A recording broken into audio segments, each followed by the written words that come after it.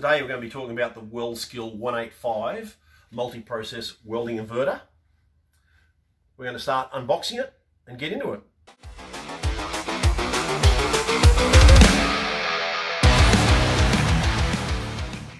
Okay, so we've just taken the WeldSkill 185 multi-process inverter out of the box and I've laid out all the gear that comes with it.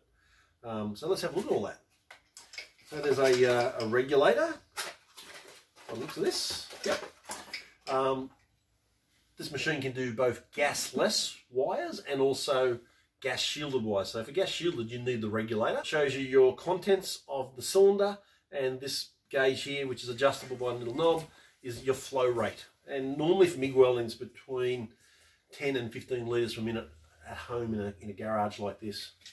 To make all that work, then we need a gas hose, which it comes with. It's got a quick gas connector, which just slips onto the back. And that end hooks back up to the regulator. Okay, it's got a MIG gun, that's very important. This is a three-in-one machine, MIG stick and TIG. Uh, it's got the MIG gun, it's a three metre MIG gun, 15 series uh, nozzles and tips. Nice bit of gear. With a Euro connection back end.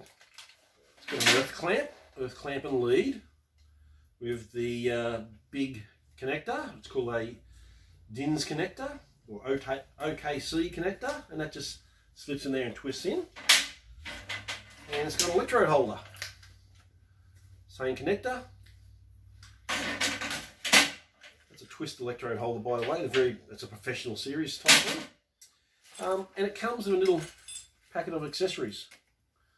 It's a little spanner for changing the uh, front end consumables, the nozzle and the tip.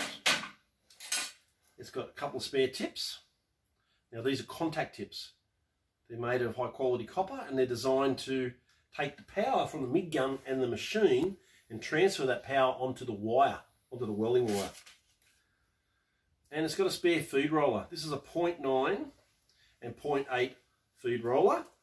And in the machine, it'll be already fitted with another roller, which is a 0.8 and 0.9 gasless roller.